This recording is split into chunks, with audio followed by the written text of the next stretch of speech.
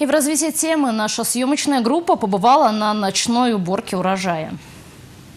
По хрупким стеблям тяжелая техника. На часах 8 вечера, но комбайнеры продолжают уборку. Лето было непростым, но вопреки непогоде урожай зерновых высокий – 48 центнера с гектара. Долгие годы это поле пустовало, теперь же здесь ждут неплохой урожай.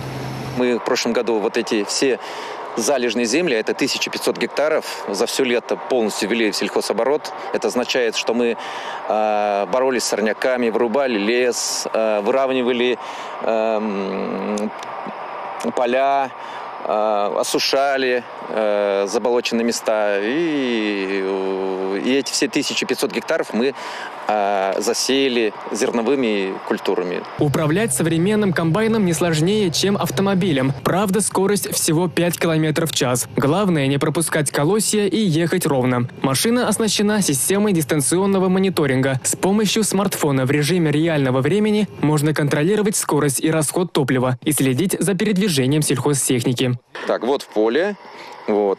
А вот КАМАЗ двигается. Вот он, видите, уже едет к нам. Вот он. Вон он, видите, там вдалеке фары. Вот мы его видим, он сюда уже подъезжает.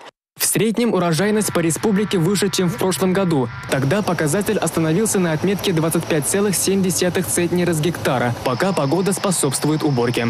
На сегодняшний день собрано с площади около 50 тысяч гектаров. В прошлом году было в 4 раза больше. Поэтому основная наша задача за короткое время собрать весь урожай. Здесь мы, понятно, сталкиваемся с трудностями, так как поздно посеяли, зерновые еще не созрели, яровые зерновые. И выигрывают те хозяйства, где есть озимые культуры. Вот многие сегодня заблуждаются, вот, говорят, что влажность вот 20-23, мы пока не готовы, где-то 18, мы еще ждем, пока подсохнет. Ни в коем случае ждать нельзя.